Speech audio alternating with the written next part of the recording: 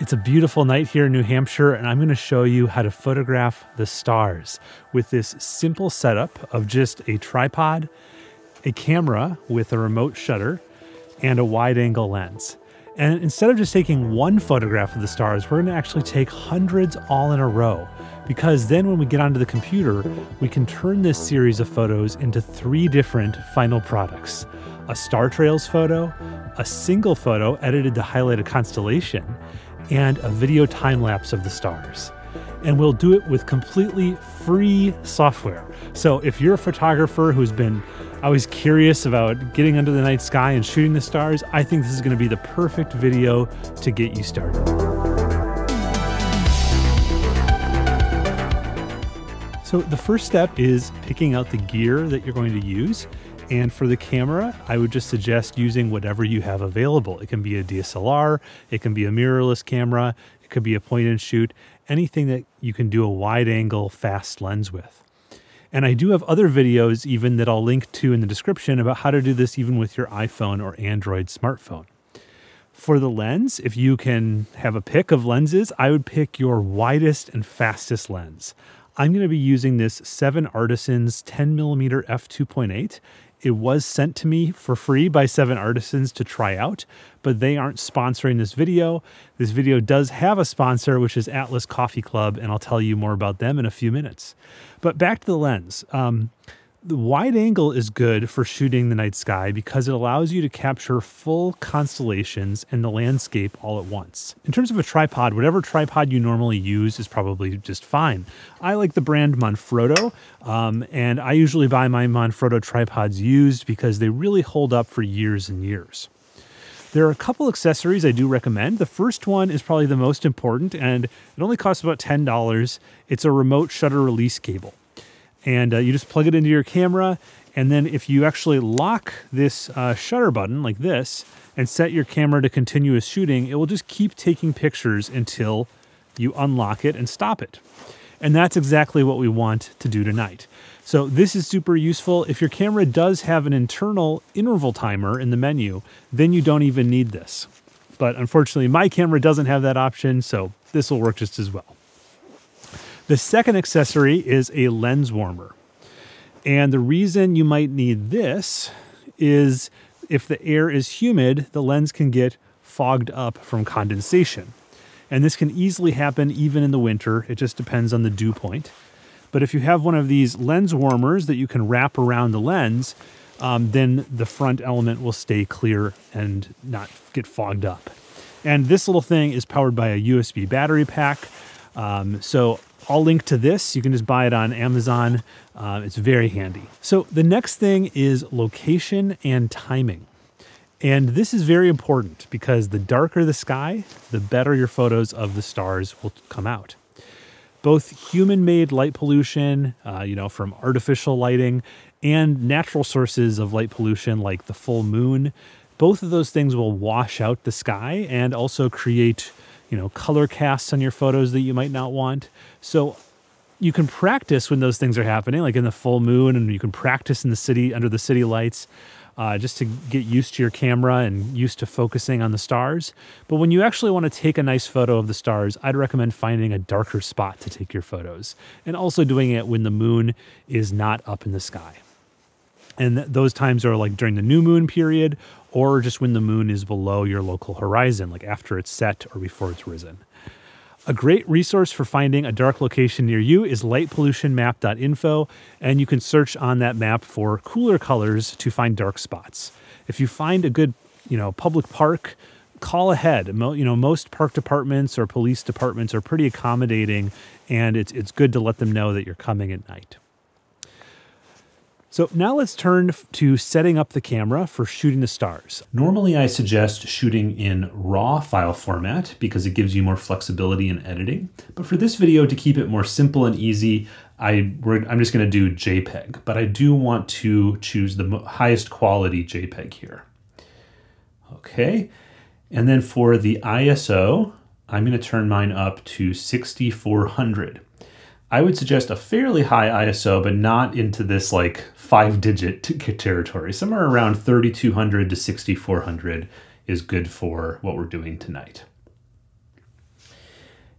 And then for shutter speed, it will depend on your focal length, but if you're using a wide angle lens like I am, I'm using a 10 millimeter lens, somewhere around 8 to 10 seconds will do well. If you're using something more like a 50 millimeter lens, you might want to knock that down to uh, just three or four seconds. Okay, and then for the aperture setting, I think I already said I want it wide open, meaning the smallest f number. So for this 7 Artisans uh, lens, that's f2.8. For the white balance, I want to turn it off of auto white balance to daylight white balance. This is going to give you the most accurate star colors. Of course, you can choose other kinds of white balances if you prefer like a more fantasy look, but I want a more true color look. And then lastly, we want to change the shooting mode from single shooting to continuous shooting. And this is what's going to allow us to use that shutter release cable in the locked position to continue taking photos one after another. So during the summer months in the Northern Hemisphere, we can shoot the Milky Way core in Sagittarius. But right now it's winter, as you can see. so I'm going to center uh, the most famous constellation in the winter here in the Northern Hemisphere, Orion the Hunter. And it's very easy to spot. Uh, it's usually to the south, and uh, it's easy to spot because of Orion's belt, those three bright stars. If you have, um, you know, some trees in your foreground or, or snow or something like that, that can look uh, nice. In order to focus, uh, we're going to want to use the digital zoom feature in live view if you're using a DSLR. If you're using mirrorless, it should just right away be in live view, but press that zoom in button until you're as close to the stars as you can get. And then start at infinity on your focus ring and then start backing off. And you're trying to make the stars as small as possible. Once you think you've got that point, take a test shot, go into playback mode, and really zoom in to look at the stars. If you're in focus, the stars will be bright and there will be many little stars visible. If you're out of focus, your stars will take on sort of a donut appearance, and only the brightest stars in the sky will be visible. So if your test photo looks like the one on the left, keep trying until it looks more like the one on the right. All right, that's it. Now we're ready to start taking photos. So I'm just going to press in on the shutter release and put it into the lock position, and we'll let it go for at least an hour. Uh, really, the longer the better and uh, and then we're done. And so now you can either stay out and do some stargazing or uh, pack up for the night. But if you do plan to stay out, it's always nice to bring a thermos of hot coffee, especially on a cold night like tonight. And uh, this brings me to the sponsor for this video, Atlas Coffee Club, which is a coffee subscription that brings you this amazing variety of single origin coffees from all over the world.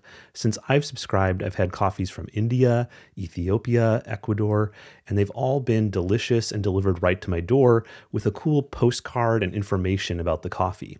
They're roasted to order, and so the coffee comes very fresh, and you can tailor it to your preferences and needs, like how you want your coffee roasted. I like my coffee roasted medium, and uh, how much you drink.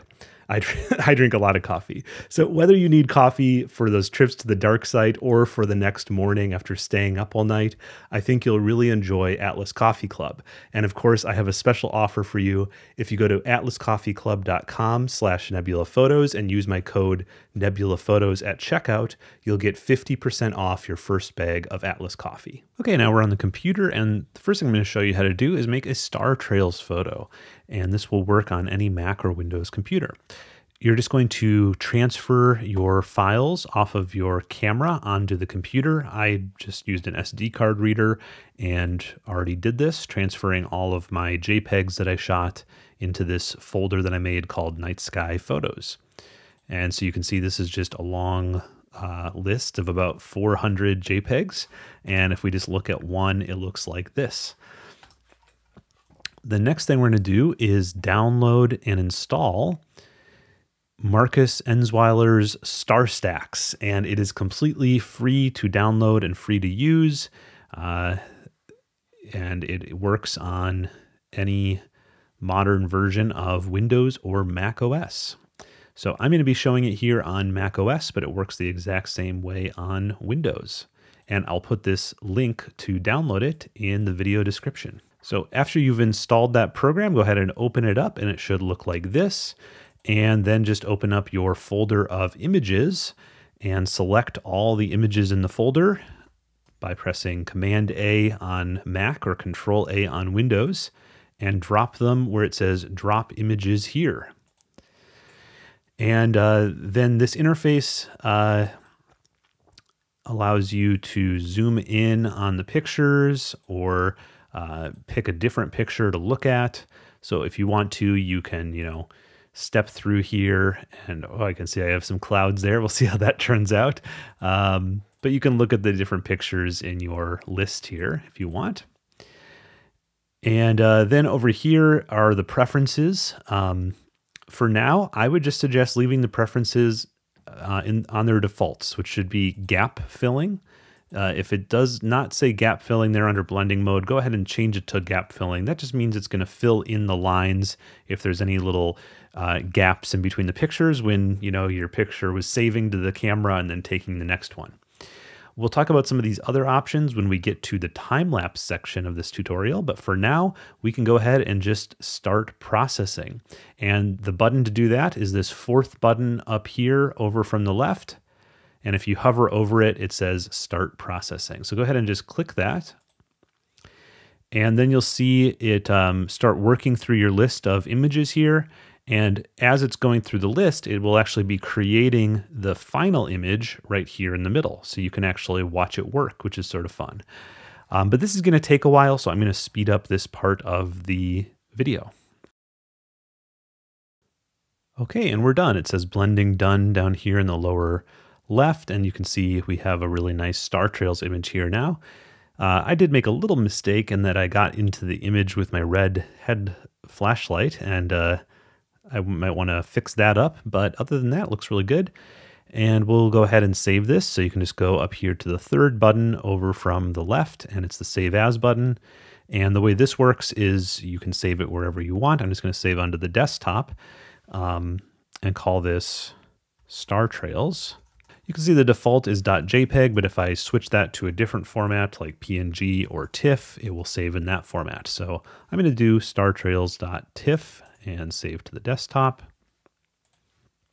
And then I'm going to open that TIFF file with the GNU image manipulation program. You're of course free to open this with whatever photo editor you like, uh, Photoshop or Affinity Photo or whatever. Um, but the GNU image manipulation program is free. And uh, in here, if I just wanted to get rid of that little mistake with my headlamp, I could just probably most easily just crop the image just a little bit like that. Pretty easy. Um, and uh, what else can I do? I can increase the saturation on the image. So if we go to colors, saturation, and just increase the scale on the saturation, you can see the stars get even more colorful. Okay, and you can see there's a nice variety of all the different uh, star colors in there, from the bright hot blue stars to the cooler uh, yellow and orange stars and the white stars in between. And so I think this looks really nice. Um, I'm just going to leave it like this and go ahead and export it as a JPEG. Okay, so there's option number one, Star Trails. Uh, pretty easy, right? You just need to get the photos onto your computer, open them up in StarStax with the default options and stack them. And then if you want, you can do a little saturation boost and crop in your favorite photo editor. Next up, let's go back to the GNU image manipulation program and go File, Open. And I'm just going to pick the first JPEG in my list here. So we're just going to edit a single photo for this method. And in, in this method, what I want to do is highlight the Orion constellation because I think it gets a little bit lost in all the stars um, in this photo, but we'll make it a little bit more prominent by adding uh, lines and a little bit of glow to the stars and even uh, label it Orion. So first thing I'm going to do is I don't want this uh, selection outline on, so I'm going to go to View and turn off Show Layer Boundary. You can zoom in and out with plus, and minus in the GNU image manipulation program. And then over here, this is called the layers panel. And I'm going to go ahead and add a couple additional layers that we'll use. The first layer I'm going to add, I'm just going to duplicate this existing layer. So I'll right click and choose duplicate layer and I'll double click on that and call this stars. I'm going to double click on the bottom layer and call that base. And then I'm going to create one additional layer on top just by clicking the new layer button down here. And we'll call that lines. Okay. And then I'll go ahead and turn off lines and stars for now and just click on my base layer. And I'm going to go to colors, curves, and I'm just going to brighten this layer up until we can see the snow in the foreground and see the sky a little bit better. Something like that. So just grab the curve line and raise it up a little bit. Okay, then I'm going to turn on my stars layer and I'm going to do the same thing. I'm going to go back to colors, curves. This time though, I'm going to pick a point more in the middle and I'm going to raise it way, way up and I'm going to do the same thing with saturation. I'm going to raise that scale way, way up until it looks a little bit weird.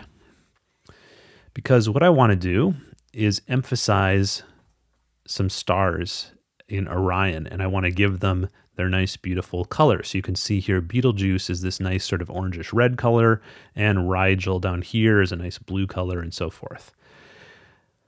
Um, but I don't want to bring up all of this color noise in the background. I just want to put this uh, effect onto the stars. So we're going to add a layer mask.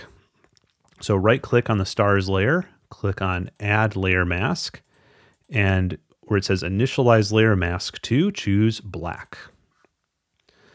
Okay, and then I'm going to paint directly onto that layer mask. So make sure the mask is selected over here in your layers panel. Grab your brush tool, make sure the foreground color is white. And then you are going to go ahead and adjust the size until it's a little bit bigger than each star. And go ahead and center this cursor right on the stars and then click on each star that you want to emphasize. Or you can sometimes do a double click to even get a bigger effect. And I'm mostly just concerned with the stars in Orion, but if you wanted to do this on all the bright stars, you could. And if you can't see uh, quite what I'm doing, the effect, let me go ahead and turn that layer off. Let me zoom in a little bit just to show you that one more time. Here's it off. And here's it back on. And you can see it just made the, the stars that we want to emphasize in the constellation a little bit brighter and more colorful. Okay, now go ahead and turn on your lines layer and switch to that. And we're going to grab the path tool. The short keyboard shortcut for that is B. And uh, what I'm going to do with this is just draw in some lines between the bright stars in the constellation. So let me zoom in again a little bit. And this is the head of Orion right here. So I'm going to click and then click over here to draw in a path. Now this is just a path. What I have to actually do to make it appear as a line is choose the stroke path button over here. And I found anywhere from like four to six pixels works well for the line width. For the color, you just it's going to use this the foreground color, which again is white. So we'll click on stroke and click away from that tool. And now you can see what it did there. It made a nice solid white line between those two stars.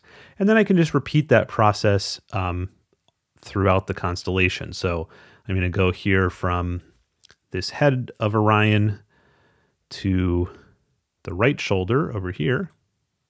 And again, stroke that path. Click away from that tool, click back in, and keep going like this. And this is a little bit boring, so I'm going to speed up this part of the video. Okay, and now I'm done uh, putting in those lines with the path tool. We can uh, Zoom back out a little bit to see how that looks. Looks good. Now, it's a little bit boring though. What I want to do is add an effect to those lines to make them glow. And so to do that, make sure you're on the lines layer.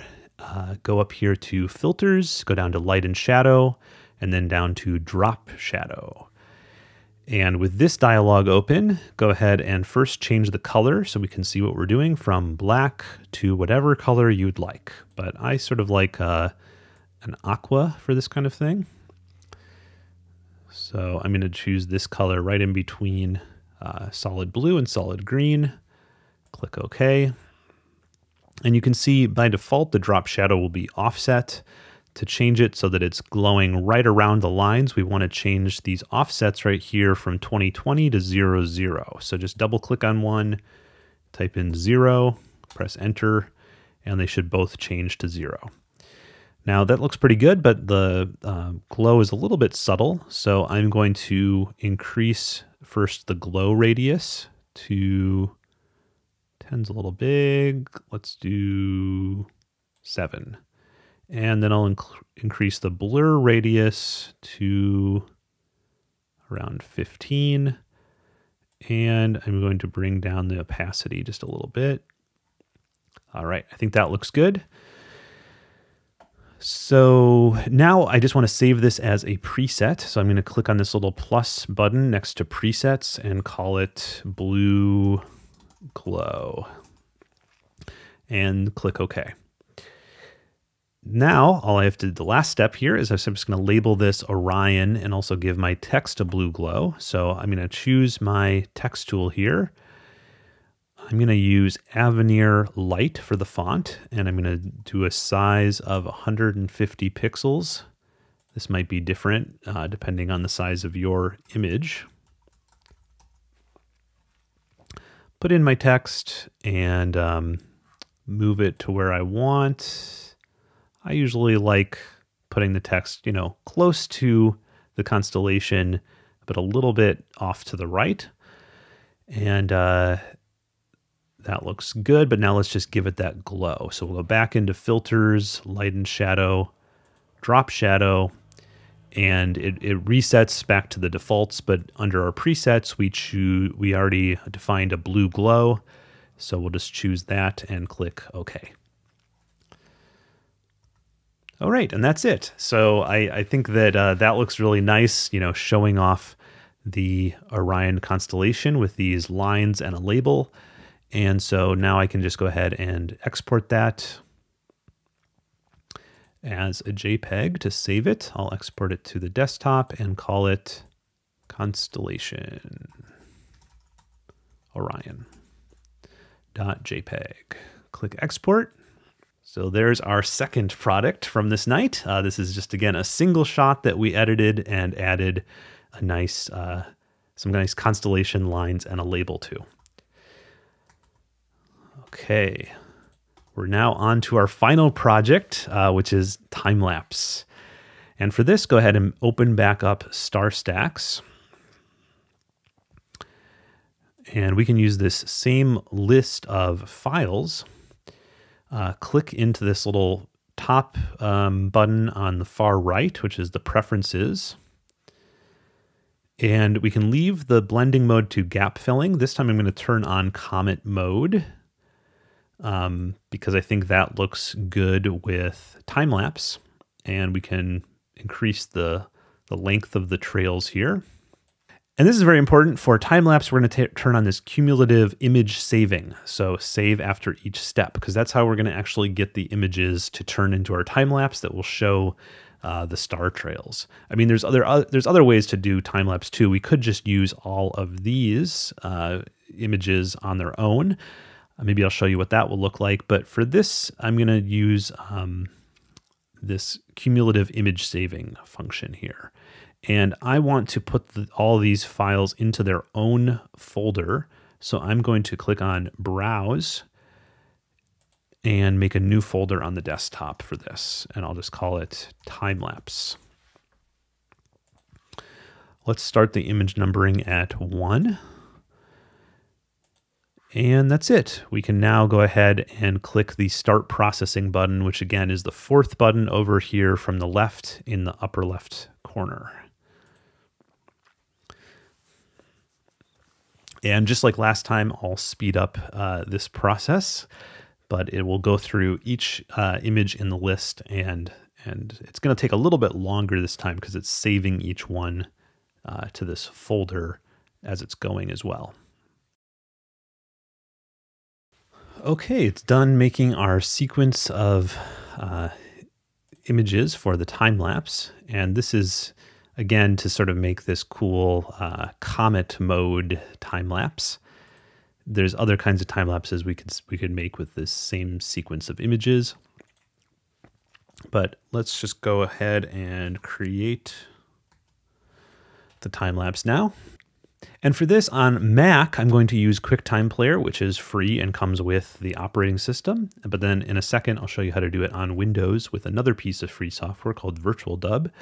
So on Mac, just open up QuickTime Player, go to File, Open Image Sequence, go here into your time-lapse folder, or actually just click on your time-lapse folder and then click Choose Media.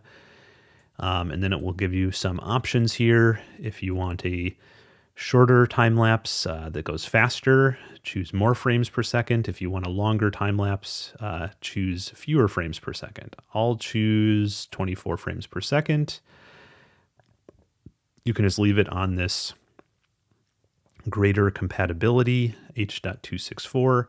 If you want to save it in a particular um, format, you can, or you can just leave it on actual size just click open and then it will uh, go through this preparing video. Okay, and that took a few minutes uh, with 400 frames at 24 frames per second. It's a 17 second long video time lapse. And uh, it looks really nice, I think. Um, you can see what the comet mode did there. It sort of gives the stars um, like a little bit of a comet shape where the trails sort of diminish as they uh, go out. And again, if you wanted this to um, go by faster, you can just choose uh, more frames per second. And now I'm going to switch over to Windows to show you how to assemble the time lapse over there. Okay, I'm over here on Windows and we are going to use a free program called Virtual Dub that's at virtualdub.sourceforge.net um, and just download it and you'll get a zip file, unzip it, and inside there will be this folder uh, and inside that folder there will be the application Virtual Dub. You don't have to like install it in the applications folder, you can put it wherever you want.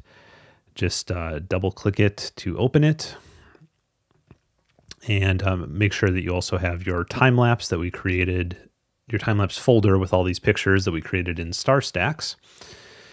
And then in uh, Virtual Dub here, just go to the File menu, choose Open Video File, and navigate to your time lapse folder with all the pictures. Click on the first picture and click Open.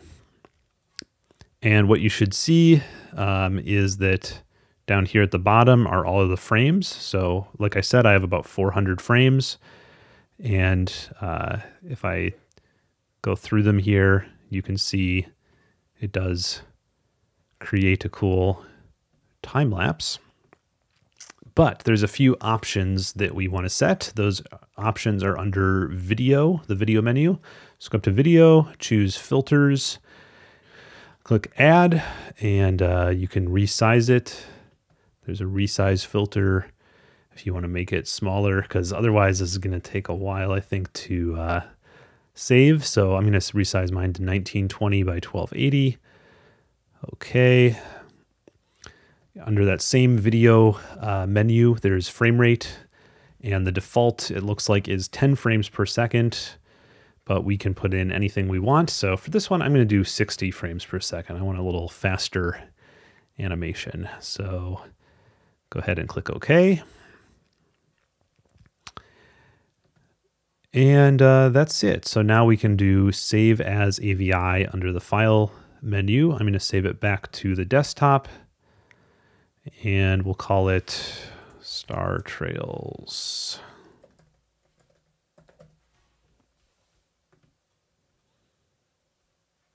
And there it goes. So now it's processing the animation and I'll speed this up uh, like I have been uh, to show you the final result. Okay, now it's done and I can go ahead and preview it here and it did work just fine.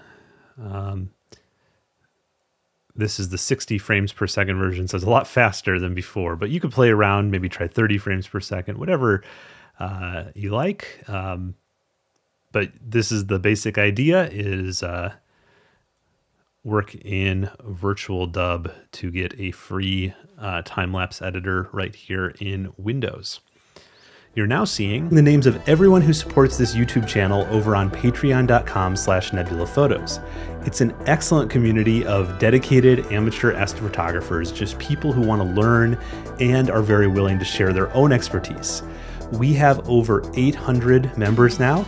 There's an active Discord that you can get involved in, and I can't thank my Patreon members enough because I'm now doing this full time thanks to all of you, and it is what has allowed me to make these videos and to really pursue this as uh, my own business. So thank you so much to all my current Patreon members, and if you enjoy this channel, I think you will get a lot of benefit out of joining my Patreon community it starts at just $1 a month, and for that, you get a bunch of perks, including direct messaging support with me, a monthly Zoom chat with the whole community, a monthly imaging challenge organized on Discord where we pick different uh, targets every month, and a whole lot more. So if interested, head over to patreon.com slash nebulaphotos.